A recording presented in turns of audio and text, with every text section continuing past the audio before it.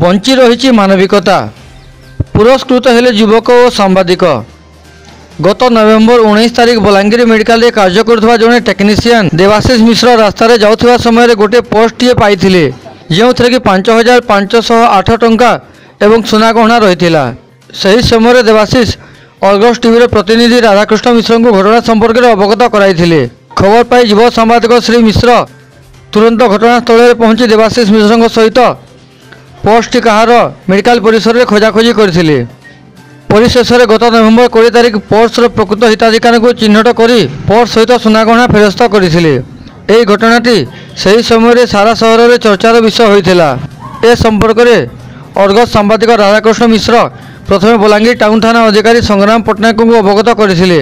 ନିଜର ଉପସ୍ଥିତି ବୃଦ୍ଧି ଓ ମାନବିକତାର ପରିଚୟ ଦେଇଥିବା ଦେବାଶିଷ ମିଶ୍ର ଓ ସାମ୍ବାଦିକ ରାଧାକୃଷ୍ଣ ମିଶ୍ରଙ୍କୁ ଟାଉନ ଥାନା ଅଧିକାରୀ ଅଶେଷ ଅଶେଷ ଧନ୍ୟବାଦ ଦେବା ସହ ବଲାଙ୍ଗୀର ଆରକ୍ଷୀ ଅଧୀକ୍ଷକଙ୍କୁ ଜଣାଇଥିଲେ।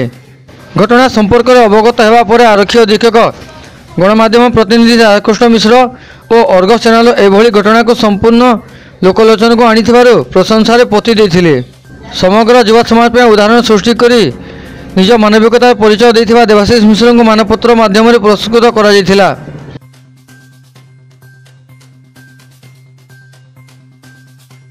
ଏଭଳି ଘଟଣା ଜନମାନସରେ ଲୁକାୟିତ ହୋଇ ରହିଯାଉଛି ଯାହାକି ଅର୍ଗସ୍ ସେନା ଲୋକଲୋଚନକୁ ଆଣିପାରିଛି ଅର୍ଗସ୍ର ପ୍ରଭାବ ଫଳରେ ଜଣେ ଲୁକାୟିତ ପ୍ରତିଭା ଚିହ୍ନଟ ହୋଇପାରିଛି ଯାହାକି ଯୁବ ସମାଜ ପ୍ରତି ବଳିଷ୍ଠ ଉଦାହରଣ ସୃଷ୍ଟି କରିବ ବୋଲି ଆରକ୍ଷୀ ଅଧୀକ୍ଷକ ଏମ୍ ସମ୍ପଦ ପ୍ରକାଶ କରିଛନ୍ତି। ରାଧାକୃଷ୍ଣ ମିଶ୍ରଙ୍କୁ ସବୁ ମହଲରୁ ଶୁଭେଚ୍ଛାର ସୁଅ ଛୁଟୁଛି।